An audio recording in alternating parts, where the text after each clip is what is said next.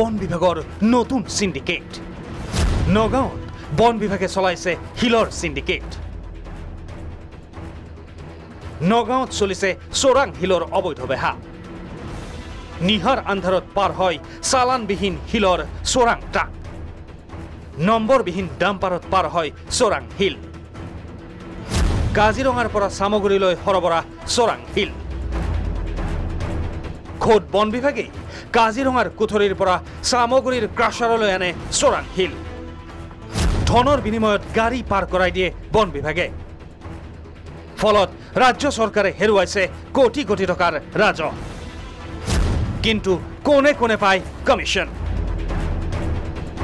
জখলাবন্ধা খণ্ড উন্নয়ন বিষয়া কুলেন্দ্ৰ ভূঞা চালান ৰেঞ্জাৰ ছেলিম আহমেদ আৰু নগাঁৱৰ ডি এফ অ' সুভাশিষ দাসলৈ আহে মোটা অংকৰ কমিশ্যন।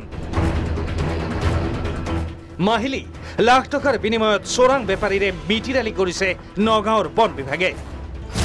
নীৰৱ বি ই অ' বনমন্ত্ৰী পৰিমল শুক্লবৈদ্য ডাঙৰীয়া এয়াই নেকি আপোনাৰ বন বিভাগ? নাকি লগাব পাৰিবনে এনে দুৰ্নীতিগ্ৰস্ত বন বিষয়াক? ভিডিঅ' জাৰ্নেলিষ্ট লক্ষ্যৰ সহযোগত নগাঁৱৰ পৰা অজিত শইকীয়াৰ ৰিপৰ্ট প্ৰাগ নিউজ।